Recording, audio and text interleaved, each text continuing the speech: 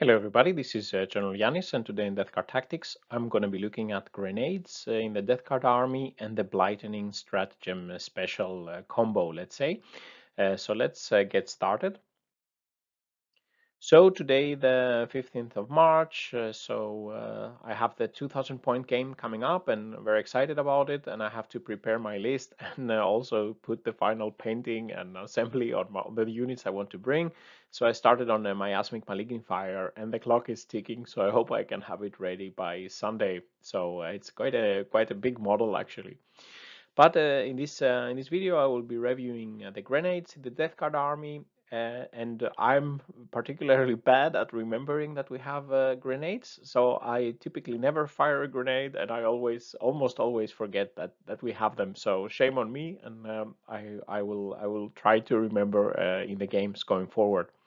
So I will start uh, looking at the statistics. Uh, yeah, the the weapon stats for the grenades we have. Uh, the basics of using them and which units in our codex have them.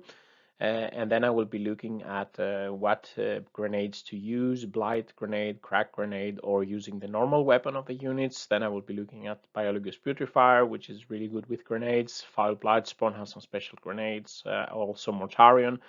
And then at the end, I will also be looking at this the Blightening stratagem. So let's dive into it. So uh, let's look at the grenade stats and, and the basics of, of grenades. So if we start uh, with, uh, we have the, the Blight Grenade, which is a grenade D6 uh, type weapon. The range of the grenades is 6 inches and the Blight Grenades are a plague weapon and then the strength is uh, strength 4, AP 0 and damage 1 and it's a blast weapon which is quite good uh, against uh, some type of, yeah, weaker horde infantry of course. Um, and we have um, a lot of a lot of the units uh, in our in our, in the Death Guard army have access to blight grenades, and the same also have access to krak uh, grenades. Um, so the exception here is Typhus that only has blight grenades, and then um, the others uh, we have Chaos Lord, Lord of Virulence, uh, Plaguecaster, the Malignant Plaguecaster, our Plague Marines most importantly, the Blightbringer, Foul Blightspawn, Tallyman the Surgeon, and then Biologus uh, Putrefier all have uh, grenades. And the krak grenade is uh, is only one grenade, uh, also the same range. It's not a plague weapon, and but this uh, has the advantage it has a higher strength, AP minus one, and damage two, but it's not blast, of course, being one grenade here. Then, if we look at the, some of the special grenades, then we have the Hyper Blight grenades, also grenade D6, uh, range 6 inches, a plague weapon, strength 4, AP minus 1, and damage 2, so better damage and with some AP helping the damage output of, uh, of the Hyper Blight grenades, and this is a blast. And it's by the Biologus Putrefier that has this, um, this uh, grenade. And additionally units uh, within uh, 6 inch of the biologus that have blight grenades. So any of those here they uh, when they when they are throwing grenades they can use uh, the stats for the hyper blight grenades instead. So minus one ap and uh, additional damage here. So this is this is uh, quite good. And then we have foul blightspawn has a special grenade the unholy heads grenade. It's a grenade 2d6 uh, strength 5 ap minus 1 damage 1 also a blast. It's only once per battle uh, this grenade and then uh, Mortarion, our Primarch, of course, he has the Phosphex bombs, uh, grenade 2d6, also 6 inch range, not a plague weapon, unfortunately, strength 5, AP minus 1, and damage uh, 1, and it's a blast weapon. And then uh, the final grenade we have is the Orb of Desiccation. Uh, so it's a grenade 3d3 option for the Lord of Contagion if he takes the Man Reaper for plus 5 points. Uh, so this is a plague weapon uh, strength 4, AP minus 1, damage 2, basically like the Hyper Blight grenades. It's a blast weapon and it can only be used once per battle. So uh, the rules for using grenades say that in the core rules, when a unit shoots, only let's say one model in that unit uh, that is equipped with a grenade can use it instead of shooting any other weapons. Uh, so um, so uh, yeah, for example, a plague marine who has a bolter, he can he can either choose to shoot a grenade or or to or to do the bolter, and it's only one model in a unit of plague marines, for example, that can do so. The blast rule, of course, says that uh, when we when we deter decide determine the number of shots, if we are firing at enemies with more than six plus model, we get at least three shots, and with enemy units with 10 or, 10 or more models, uh, at least uh, six, six shots. Uh, so grenades are of course short range weapons with only six inch range. And uh, if we want to increase the range, uh, we can use uh, overwhelming generosity stratagem for one command point, and this can give a plague weapon plus six inch to its range if needed. So in this case, we could get a 12 inch 12 inch grenades for the plague weapons at least. Uh, but yeah, this can be used. Uh, this could be maybe situationally useful to remember that if you really need to throw some grenades um, and they are a bit far away, uh, you can you can think about this this stratagem. So as we saw in the Death Guard army, the Plague Marines all carry grenades. They have Blight and Krak grenades, and this is the same for the Virion. They are elite characters. And then from the HQs, the Chaos Lord, Lord of Virulence, and the Malignant Plaguecaster also have this option, and Typhus only carries Blight grenades. The Biologus Putrefier has hyper blight grenades, and uh, as I said, Bubonic Astartes units within six inch of him that have blight grenade can um, can throw, let's say, with improved uh, damage and AP. And the Foul Blight Spawn and the Lord of Contagion uh, can have once per battle grenades, and Mortarion has his Phosphex bombs. So uh, let's uh, look at um, a lot of our units have blight and krak grenades. So which one should we select? And here I'm assuming we're at 6 inch range and we're not yet putting the enemy uh, in minus 1 toughness uh, contagion.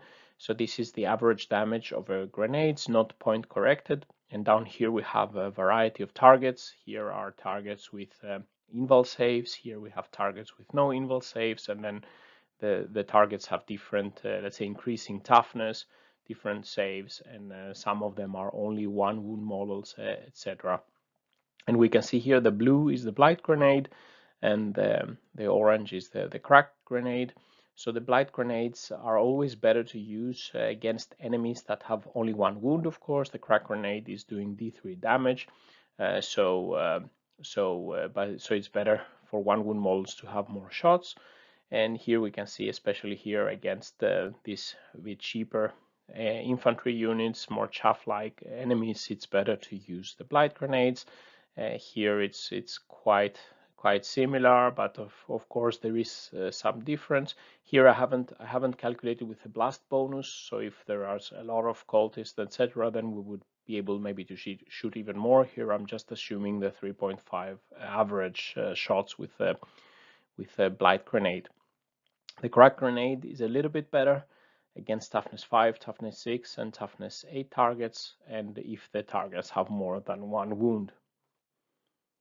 So uh, yeah, so for, for a lot of cases, the, the blight grenade is the best option, but is it better to shoot uh, a grenade or the normal weapon of the, of the units? So here I'm comparing the damage between grenade or normal typical weapons that these uh, models have at 6 inch range. Here I'm still uh, assuming no minus 1 toughness. And typically, as we see, the units with grenades uh, have typically bolt or plasma pistols, for example, the Plaguecaster or the Tallyman or Noxious Blightbringer or something like this.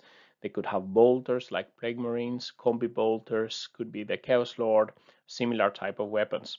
The Plague Marines can also have, of course, special ranged weapons. And of course, if the model um, if there is some models in your army that are within six inch range and they have grenades and they only have melee weapons, for example, a marine with a, flail or typhus with a, with his grenades, or uh, if we have, let's say, cleaver marine or something like this, that they don't have any other weapon to shoot, of course, choose this model to fire a grenade.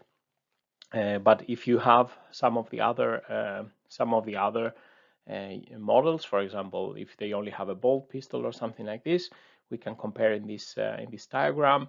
So here we can see um, the the orange is the krak grenade, uh, the the the blue is hidden behind the yellow line is the is the is the krak uh, grenade, uh, the blight grenade, sorry. And down here we have, for example, a bolt pistol, and here is the bolter firing two shots of the bolt. So this is always the grenades are basically always better uh, than than shooting a bolt pistol or a bolter. And they are also um, better for a lot of targets if we if we have a plasma pistol. And the combi bolter is basically equal to the blight grenade.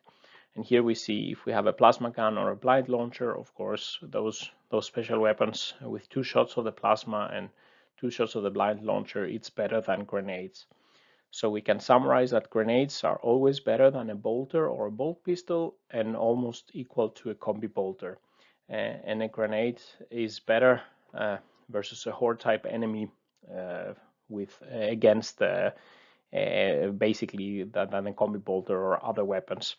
and grenades are typically better than a plasma pistol, but not better than a plasma gun or blight launcher.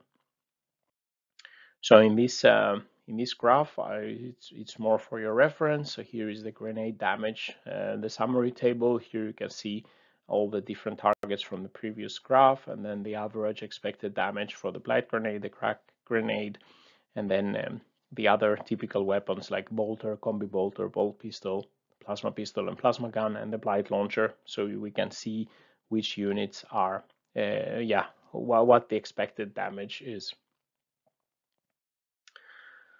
Moving on to Biologus Putrifier, his Hyper Blight Grenades. So uh, here we see again the blight grenade and the krak grenade uh, versus uh, the different targets.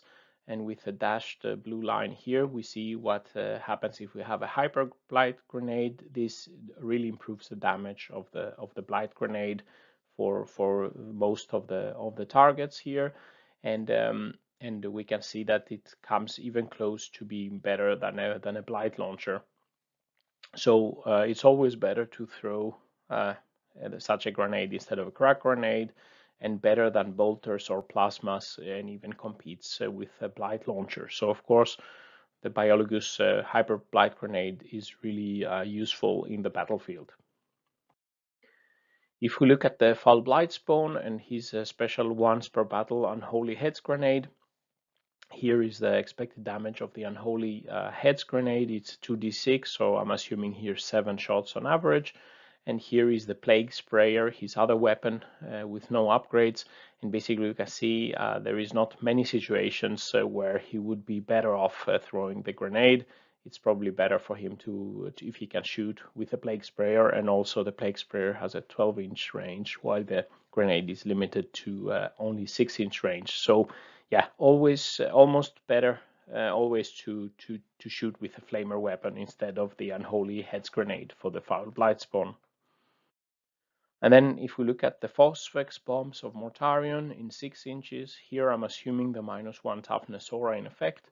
Uh, Mortarion has a 9 inch uh, contagion range and he can reroll once. And this is expected damage, not point corrected. And here we see the orange is the Phosphex bombs, the 2d6 grenades, and here's the lantern pistol.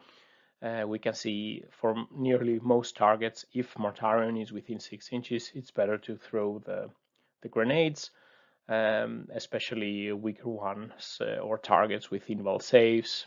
Uh, however, uh, with the lantern, the pistol, if you can trace the the firing uh, through multiple units, the lantern could do several damage to to more models. So it could be it's it's probably better doing so uh, if you can apply the damage to multiple units.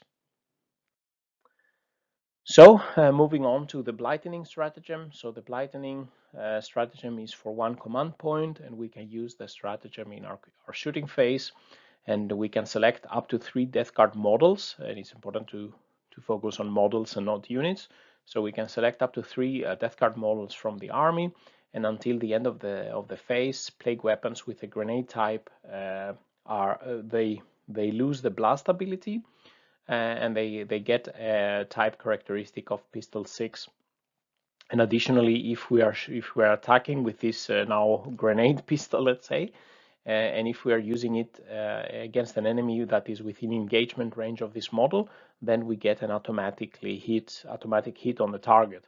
So this is a really good stratagem, especially when we have death guard units with uh, plague weapon grenades locked in combat. And especially if we have a biologus putrifier close by because then they would be uh, having better better uh, performance here.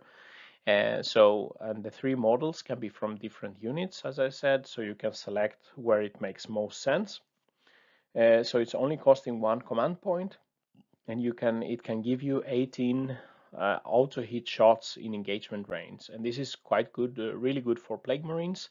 Uh, since uh, the plague marines don't have any pistols uh, to do anything in the shooting phase if they already start the, the round locked in combat in engagement range.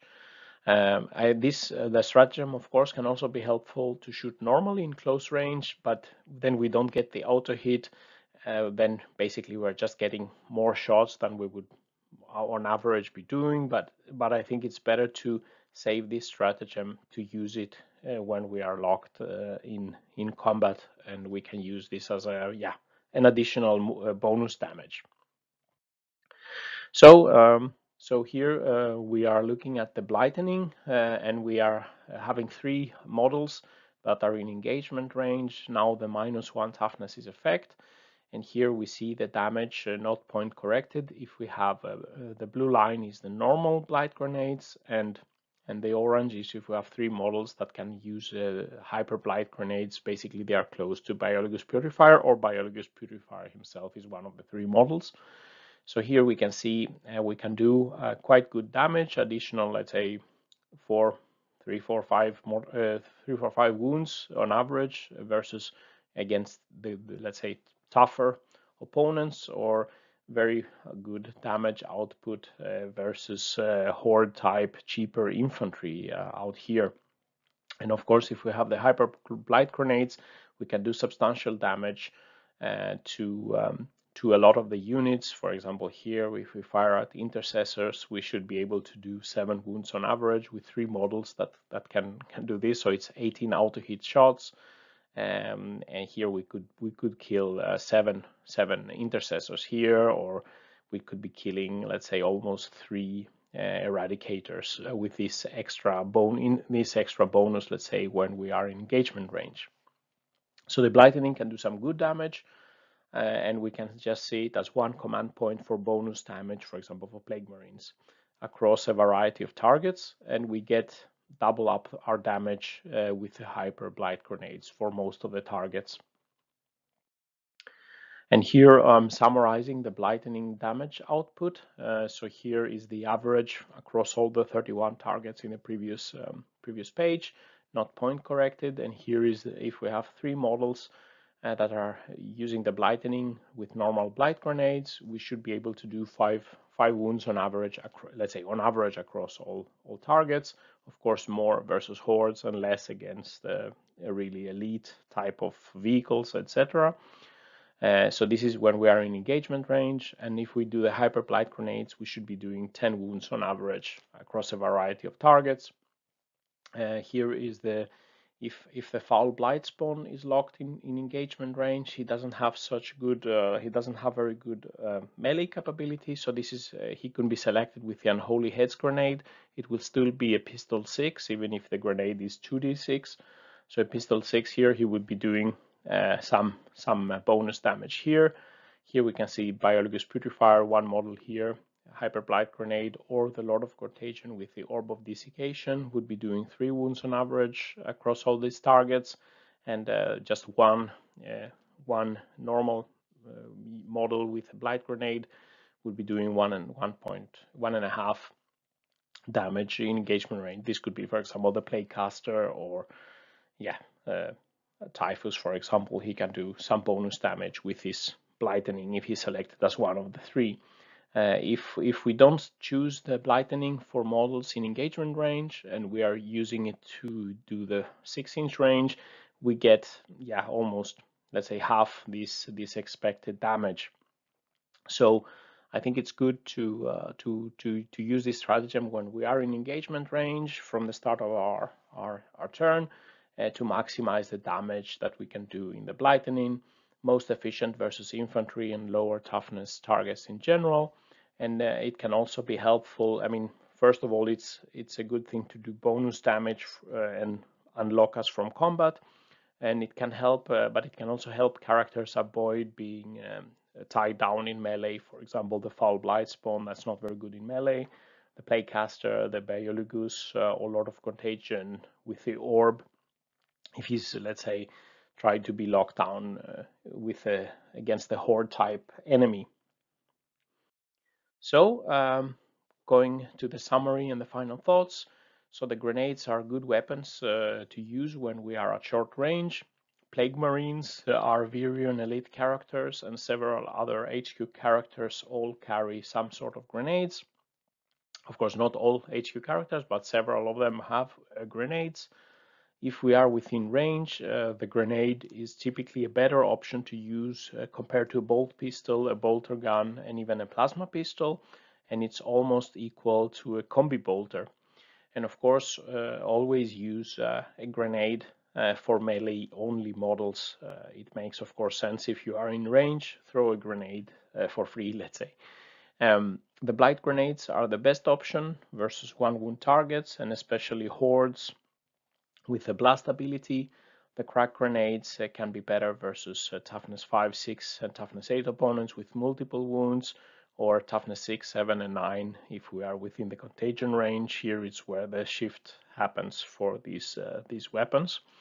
And um, Biologus uh, Putrefier uh, greatly enhances the damage of blight grenades. Uh, basically, it's doubling the, the damage output and competing, let's say, with blight launchers for damage. So if you have if you have uh, Biologus close to to other characters and and plague marines, if they are within range, uh, it almost definitely would uh, make sense that at least yeah one model can can shoot high, this uh, tougher better grenade. The foul blight spawn is better off shooting his sprayer than, than uh, the once per battle unholy heads grenade for most for most uh, enemies. The Mortarion's Phosphex bombs are his best ranged option if he can be close to the opponent, unless we can trace the Lantern Pistol versus several enemy units. And then finally, the Blightening Stratagem for only one command point is great for dealing bonus damage and for maximum effect, use it uh, with uh, three models that are already in engagement range in the shooting phase, uh, preferably versus NFE infantry. For example, Plague Marines, uh, they don't have any pistols typically, uh, or the Foul Blight spawn and other characters that could not, maybe not be so good in melee. They could do this bonus damage, maybe come free and do the, yeah do much more damage with his stratagem. So this this concludes the, the video. What do you think about grenades uh, and um, have you been using the blightening and what has the effect been and have you seen this uh, good damage output from the blightening uh, stratagem? Uh, if you like this video, please press like and subscribe to the channel where I will be posting many more videos on death guard tactics. And uh, if you want to support my efforts uh, further to bring you this analysis, if you want to have access to more results, please visit my Patreon page uh, and um, yeah for supporting uh, for supporting my my efforts. And um, with these words, uh, is signing out. Stay safe out there, and bye bye.